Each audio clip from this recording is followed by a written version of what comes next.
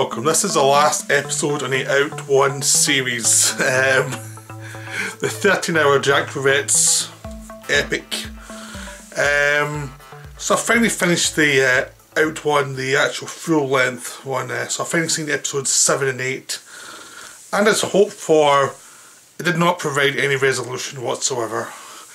Uh, delighted in the mysteries and it ultimately was more of a character than any great mystery being solved. It was all about pe people creating mysteries for themselves, to keep themselves intrigued, rather than there is a big mystery.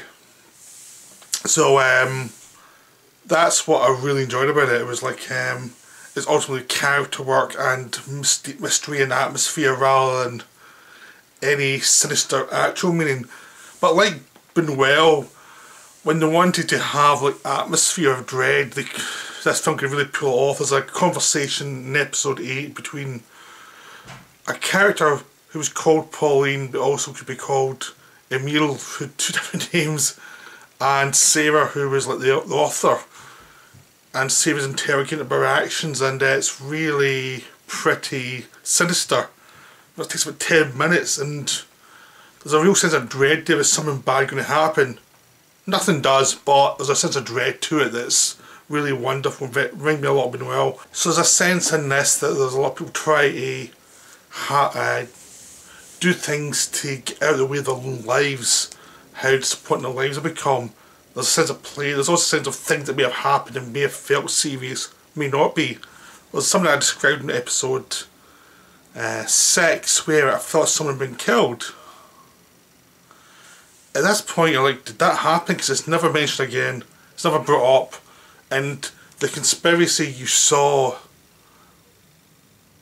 um, suggests something that's play rather than actual reality. There's another bit later on where someone seems to get shot and then the blood looks fake and it's like, I don't think this this did not look real at all. This is, looks like a, people are knowingly playing along. And then you think back to the person being hit, like, did they really get hit or was it something else? Or was it um, just a play hit and everyone was acting along? I don't know. I really don't know. And that's what's great about it. You don't know if what you were seeing was real or what, if it was a play. If it was people playing along with something. Or it could have been they were they, someone to one of the characters in the story into something more serious than the rest of them and no one knew you can't tell. It's like, and they don't spend a ton of time trying to bring together all these weird stories and trying to make sense of everything. It's like, it's left to imagination a lot of it. It's left to being, what do you make of this? So I'll try and go through the stories again, like I've been doing before, so that we get an idea of who everyone is and what we're up to in these final two parts. This Seven of Thebes story is pretty much abandoned by this point. The only people you really see is Quentin and Lily, as well as uh, Renard, who appears in another story, which we'll get to later. Uh, Lily has gone to this place, the Obade, which is this house that he saw Sarah, who one other people from the group, and in the, earlier on in the story. Now she's gone there to recover from what happened, from the apparent murder of someone who I don't know if it was a murder or not, if it was a play or not, if it was a... I don't really know. uh, I'm assuming that they died, but I don't... I don't see it's meant to taken seriously, but... But she goes there, she's uh, trying to decide what to do, but it seems much more like she's trying to decide what she should do with her theatre career as if to say she's not quite sure where to go from go next because it wasn't just the money was stolen, it was almost like her um, play was funny bits even before that, so it wasn't obviously her way of doing things hadn't worked. As she's um, doing that, um, Pauline shows up, it's also Emile. Um, Pauline is in the run from the same thing, same event where she seems to have hit someone and killed them. And she seems very upset about it's a guy called Pierre who seemed to be the person who ran the group years ago who runs the 13 who's pretty manipulative and a lot of loyalty from the other people involved but he's trying to uh, get her he's like um, he's annoyed her so much because she can't find her husband Igor. Igor seems to be um, the thing for her. She thinks Igor may have been killed by Pierre. She's getting paranoid about it because Igor feels like he's up to some no good. So again ties to the, the guy getting killed. It could have been real for up, you know. Um, so there's that element. Um, and during this time, Pauline is she tries to release this information about Pierre's taxis to the papers. It gets by everybody around her because they think that's not a good idea. Um, and then she ended up coming around to the idea that maybe it wasn't a good idea to try and screw with Pierre and mess him about and get the law into him. But everyone's now looking at her as if she's a time bomb ready to go off. And she's done obsessed with the guy Colin, who was investigating the whole thing, the idea 13. She's obsessing him beyond even thinking about children. And as Keelan will point out, she's really obsessed with Igor, and some people think she doesn't want to see him again, some people think she does, she's desperate for him. And it's like this weird obsession, she can't even see which way he's up and which way he's down anymore. She's completely started 40 bits. She's just, she, it shows you the cruelty of this group is that a lot of people in that group know where Igor is, but no one's telling her because they think it'll make matters worse. We never find out where he is, and that's what gives the sinister side of this group the idea that yeah, there's some funny games involved, but there's some serious consequences as well. Like there may be some sinister elements to this as well that you don't know, and you can't quite put a finger on what what the actual plan is ever anyway. So it creates this unease that's floating through all these people and all their interactions. Like some people know more than others. And what happens to Pauline? It becomes this idea that she she has been treated pretty badly. They they're being cruel to her. Her husband does disappear six months the year never contacts her and it's obviously getting to her. At the end of this, after people have talked to her and things and uh, she seems to have calmed down. But she's, she's under the impression that Igor doesn't go to foreign lands, he just goes to this house for six months and hides in there to get away from her. Which may or not may not be true. They never explain is she being paranoid or is it actually the truth. But it's also Igor seems to be tied to Pierre in lots of ways that may not be good for anybody. And I, Igor's um, and Pierre seems to be tied to Lily and Pauline and interestingly was never explained either. And it's like you, you never get a grasp of that, and it's quite good you never grasp, but you can still try and figure it yourself because it's not clear. And it's not meant to be clear. So that's what was really interesting. Eventually, Igor calls her and says he's in uh, he's in Paris. I up going back to Paris, and that seems to be that part solved. But he's going to disappear again. It's going to keep going. It's always going to be this thing that's always going to be a problem and no one's faced up to that yet. So it's one of those things that's left to hang there as if it's a bomb that's going to go off after the film has finished. You know, this is not going to end well. but well, that's my interpretation. You interpret it as a, continuous of a game, but obviously this story shows the cruelty of the game. The game is cruel to certain people we go to Thomas now and his group. His group also have fallen apart. Um, one of the girl, one of the women, has left. Leaves the group because her lover is leaving Paris for a job, and even though she turned him down to start with, she, changed her mind and to go with him. Then uh, also Sarah, who was went to the group to try and tell them what what the problems were with Prometheus. Uh, she argues with the group and she's a completely different view of art and thinks that they, they're doing stuff for, a purpose and it's so she walks out and with these two leaving the group has no purpose anymore they've just lost a sense of purpose and they just split up Thomas ends up going to because of the whole thing the letters of Pierre's letters that Pauline's going to send to the press he goes to try and deal with Pauline as well as his ulterior motives as well. He doesn't even deal with Pauline. Like um, Sarah goes there and she deals with him, deals with her. He ends up dealing with Lily, who turns out he used to be a collaborator with her. They used to collaborate in plays. They split up six months ago, and and they're not doing very well for each other. You know, like they're both doing uh, the same, placing the same writer that fell apart. They're both trying different things and it's not working. Like they seem to need what the other person has, but but work there drives them nuts. So it's like they don't want to work with she doesn't want to work with him. He wants to work with her because he, he knows he needs her.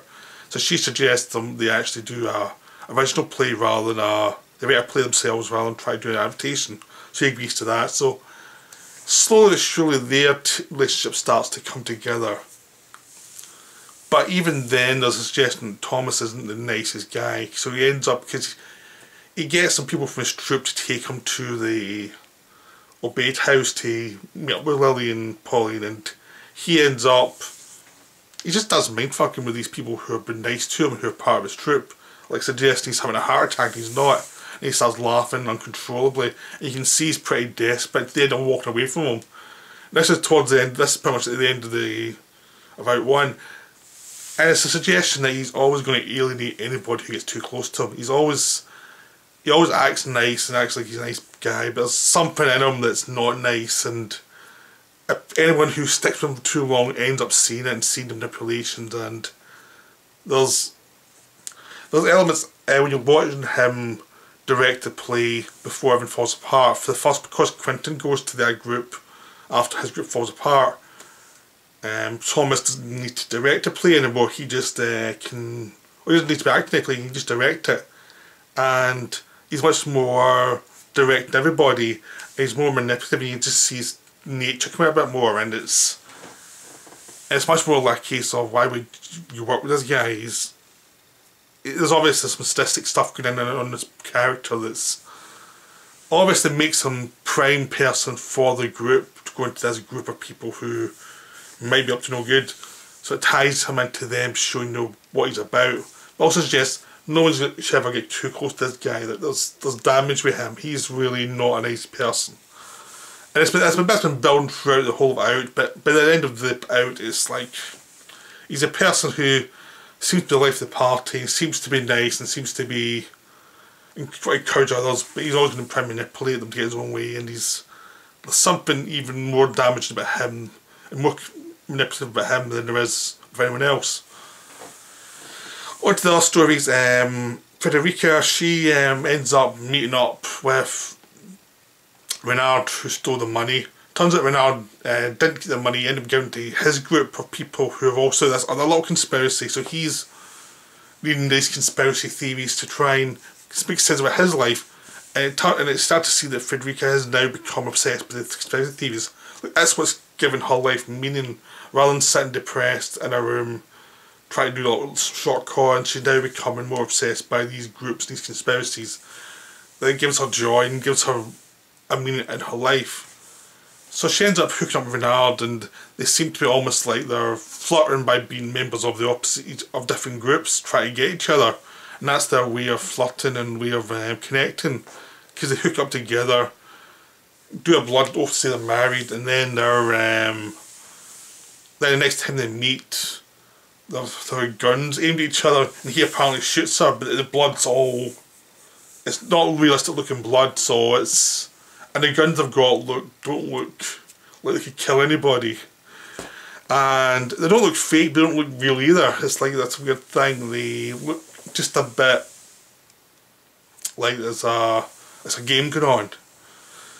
So at the end he takes he takes her disguise off and sees it's her, but but you know he really knows it's her. And the whole thing's a game, and she's got this blood on her, but as if it's, not real blood. But you stay with her, and you don't establish she's, she's still alive. It's just one of those things that's just left to hang there. It's still part of the game, the damage of the game, and the joy of the game, and where it's going. So that's wonderful, because this point Frederica's joined Pierre's group and the group of people she stole the letters from, she seems to have made a contact with one, one of them called Lucy and who originally was the one who was brutal to her which came to try to sell the letters back to her and now she's like the contact to the group. So it's like um, she's almost become one of them. So that's what's wonderful about it is there's a kind of joy to and there's freedom to that.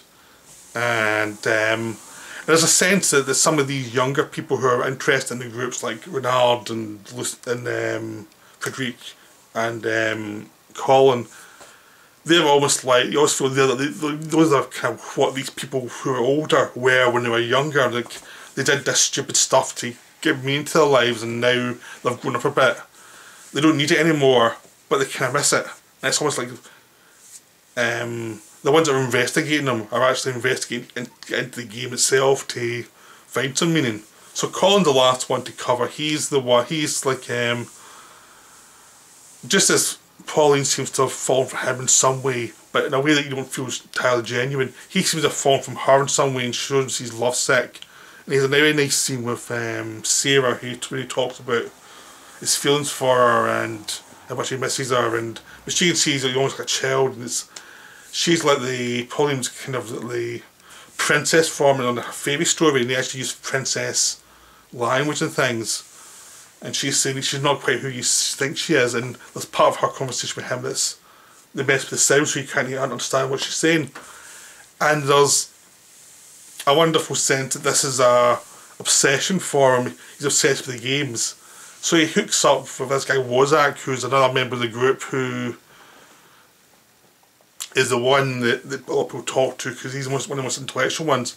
And he's talking to Wozak and he's saying that he's trying to explain his idea of 13 and then later on in the story he comes back to see him and says no the 13 were garbage. That was just a immature fantasy I'm beyond that now. And then you see Colin going back to where he started in the story where he's acting he's deaf and dumb and he's like giving people notes and things. And it's almost like that's where he's going again to get his instructions. It's like obviously he's going back to get get to the next game, next level of the game. It's obviously he's been getting instructions for a while. That's what he's doing it for. So when you originally thought he was doing this for nothing, the first part of the story, now you think no, he's doing this for a purpose. This is part of the game that might be on for a time. So he's going back there, he's wanting to go to the next level. It's not a 13 anymore, it's something else and he's obsessed with the game as well. So he's trying to build himself into this group, and they've all started to recognise him and say he's around everywhere, isn't he? And for a long time they thought he was uh, someone from another group, and it turns out no, he was from Pierre, who was the leader of the group who you never see. You don't see him or Igor, and Pierre had to set him towards the group, and to actually kind of bring them back to life and get them interested in games again, because obviously it's Pierre misses the friendships, he misses the people he's involved, he's involved with when he's younger, and he's trying to get them back into it. And some of them are annoyed by it, but other ones are really want to get back into it because they see there's something more there, there's something missing in their lives.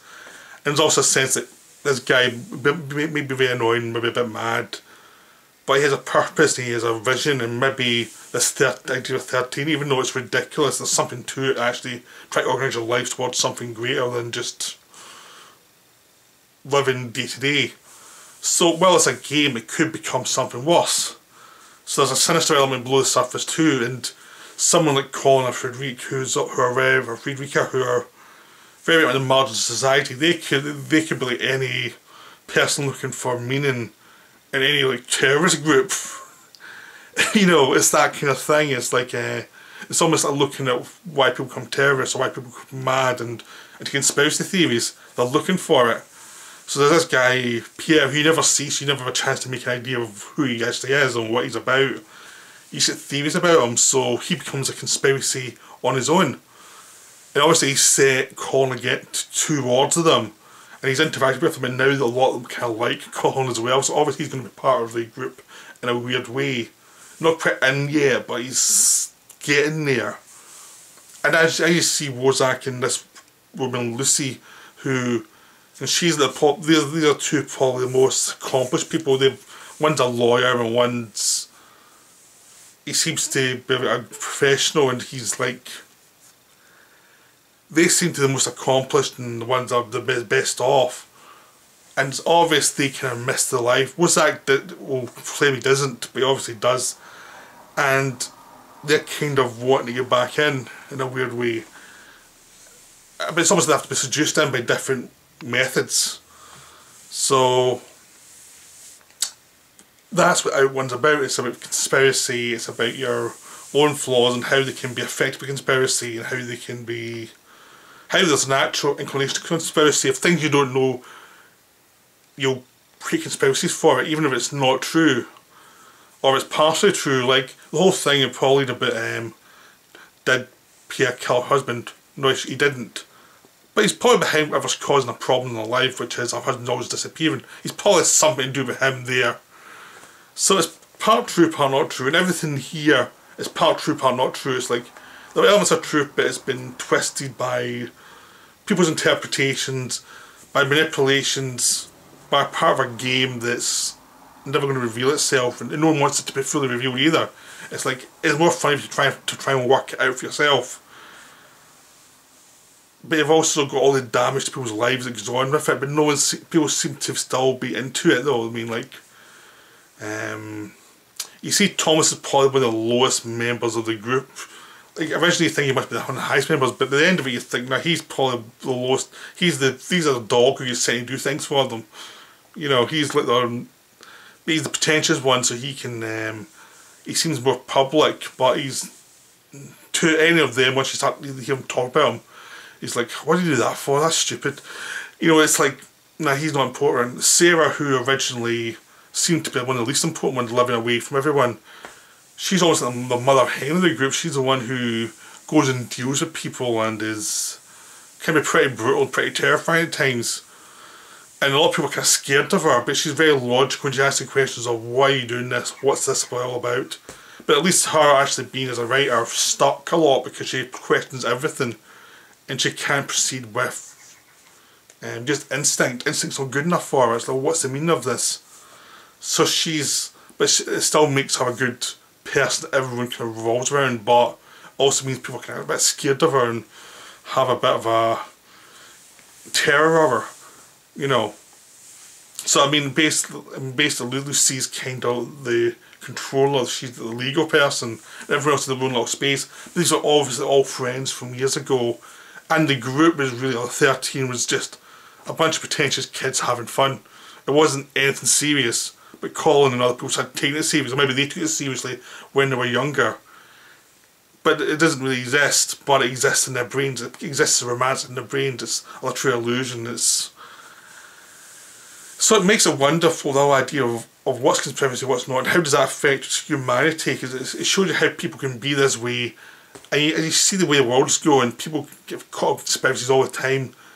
To extend, they're more interested in conspiracy than they are in the actual reality it's more fun, the headlines more fun, the um, life is more fun when there's something to discover or something that's just been discovered rather than what does it mean. Because day to day life is what does even mean and what are the consequences. And that's depressing and boring and as someone points out it's like you go through your life and realise it's just another day and you've done nothing with it. With this it make, it gives a illusion of doing something with it even if you're not. Same way in life if you've there's a illusion of things are getting done in media or something when it's not. It's just a progression of the same and same old, but it's an illusion that exists for people. It makes their lives more interesting for them. And this, for these French these people in Paris and kind of middle class and well off, maybe higher middle class, and they can afford to be uh, frivolous. You know, they're not going to be put in the street or anything, they can afford this. So it allows them to take chances and be a bit dangerous and maybe cause havoc and know the plug away with it. So it becomes this thing, it's there's consequences but not that many consequences. So Out as a whole is wonderful, it's very mysterious. There's um, the actual theatre stuff that goes through it. This is the, I'm not talking about the general overall view of Out rather than just these two episodes. The theatre aspect of it does tell a story, but you have to be paying attention to it all very carefully it's also ambiguous enough and everything. It's like I've said what my opinion of out is, out one is. You can watch and have a completely different opinion about this. It doesn't stop and tell you what you're meant to interpret it as. You're meant to interpret as whatever you interpret it as. It's like uh, it's just human beings and going through their lives. In the same way you interpret different things of different actions of people in your own way, you can do that with this as well because it doesn't stop and tell you what the film's about. You have to interpret it for yourself. And I think that's wonderful. So every story has a purpose. Like for me, some stories, the purpose of these people who you're wondering why they're doing it, you find out they're trying to find some meaning. The younger ones and older ones who originally were mysterious, they're just, to me, they become people who are compromised and they're needing something back in their lives. There is a kind of fun structure to it where there is a kind of fairy tale, tale structure to it in a weird way that is never overstated, but the the idea of doing these plays creates the idea of myth and the idea of it kind of makes your viewing of the story be very focused focus not just on intellectual elements but also on the the story elements that pass through through time because you're getting them through interpreting how people move and how they interact through the showing of the plays, which most of which are silent, so that when you're watching the rest of it, you're still in that mindset that not everything is about what they're saying, it's about how they're reacting and it's how they're looking. And it creates this atmosphere of the words matter, but also sometimes they don't matter. Maybe they're lying, and you can interpret the line through body language, which is what you get in most films anyway. Well, ideally, a lot of films you just get the everything states the same thing. But because this uses a lot of non-verbal storytelling, it creates the idea of myth floating through and the mythical constructs that inform your lives which can be different for different people because something like Sarah takes a very intellectual element to it and something like Lily is much more emotional about it and, and these two things are always in a competition but also something that are going together as people have different interpretations of what things mean and what means mean what, what anything means to them and what overall meanings are. You've got to interpret yourself. That's what the film lets you do. It doesn't say this is what it means, this is what not mean what it doesn't mean. It's like, it's a conspiracy theory, but it's not a conspiracy theory. It's a story about theatre, but it's also a story about life rather than just theatre. Is just the metaphor that allows the story to be told. And it's wonderful, it's just wonderful. I'm not going to jump back into it and watch it straight away. I will watch Spectre at some point, but probably that for a couple of months. Get a distance and see how it's cut down. I've got, I've got quite a lot of vet films still in the box set, so I'll be probably watching them over the next year, just watch them and see what they are and try and pick up some of his other films because this is a great film to obsess over like is not going to be my only viewing of this film. I'm, I'm interested in seeing it again. Just not quite just now. But I haven't seen it all I am interested in seeing it again to see how everything fits together in different ways. So that would be very interesting to watch. But it's wonderful. It's really worth seeing. I hope I've, this video is of interest to you and I hope you've seen it already and that watch video we watch it again. And if you've watched it without seeing it you've probably been spoiled completely but I don't expect this video to get many views so I'm doing it for me more than anything else. But I hope if you watched I hope you enjoyed it. And that's the end of the Out series for now. Right goodbye